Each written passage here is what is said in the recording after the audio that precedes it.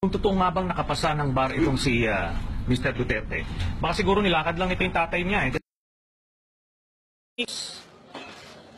So, hindi ko maiisip kung bakit idadrag ni Mr. Duterte ang aking magulang ah, dito sa laban namin. Ah, you stick with me, Mr. Duterte.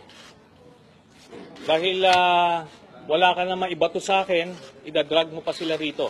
Kung totoo nga bang nakapasa ng bar itong si ah, Mr. Duterte, baka siguro nilakad lang ito yung tatay niya. Eh. Uh, well, alam nyo, siguro nakita ng mga kababayan natin how low that uh, blow was. Ano?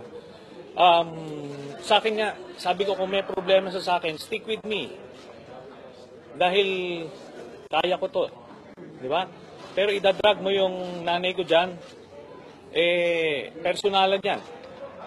Personalan yan, and uh, huwag ka pumunta dyan hindi gawain niya ng mga tunay na lalaki.